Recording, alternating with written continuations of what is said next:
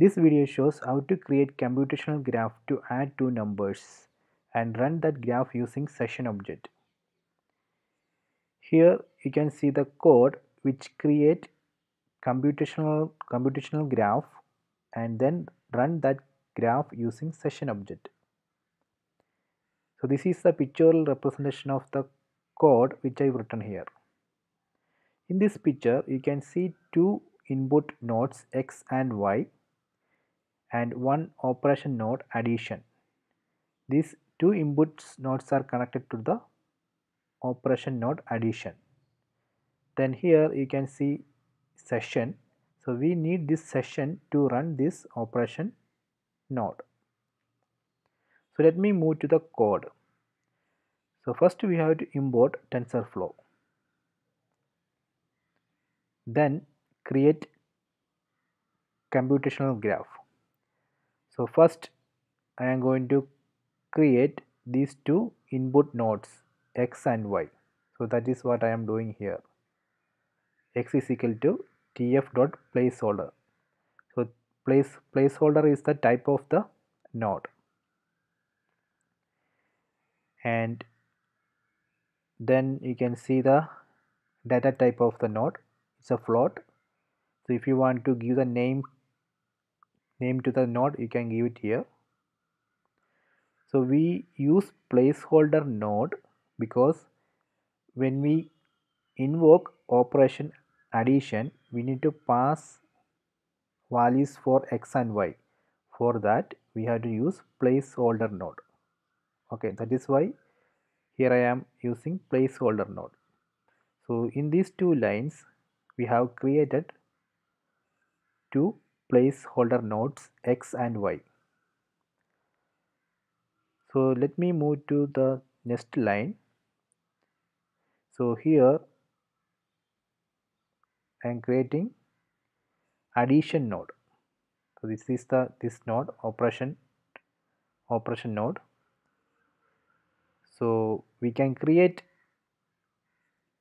addition node using tf dot add and we can pass the input node which we created here x and y. We can also give one name for the node addition node. Okay so basically we have done with this this part. We created two nodes x and y then created one operation node named addition then connected x and y to the addition node so these three lines represent this this part of the picture. Okay. Then next uh, let me move to the session. So in session we need we need we need a session to run any operation in the computational graph. So in this comput computational graph there is only one operation named addition so we need to run this operation to get the result. Okay for that we need to use the use the session.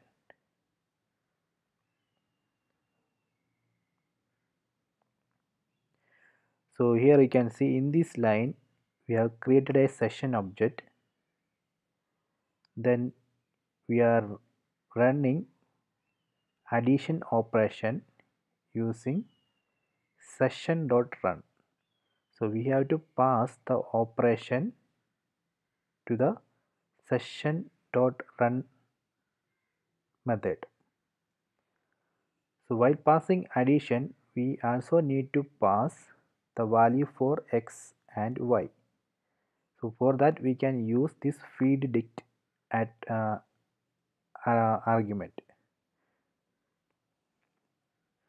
So basically this line call this uh, addition operation with value for x and y.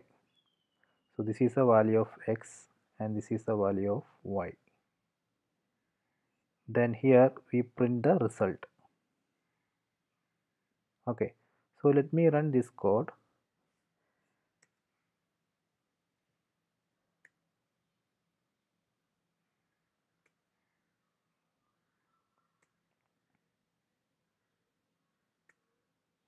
so now we can see the result 15 so here we can give like this.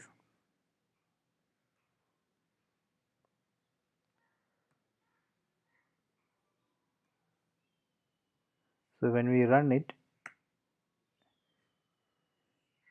you will get the result like this.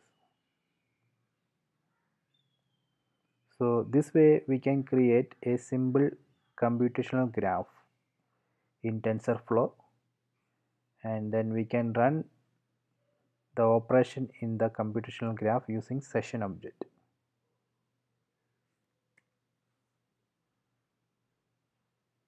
Okay.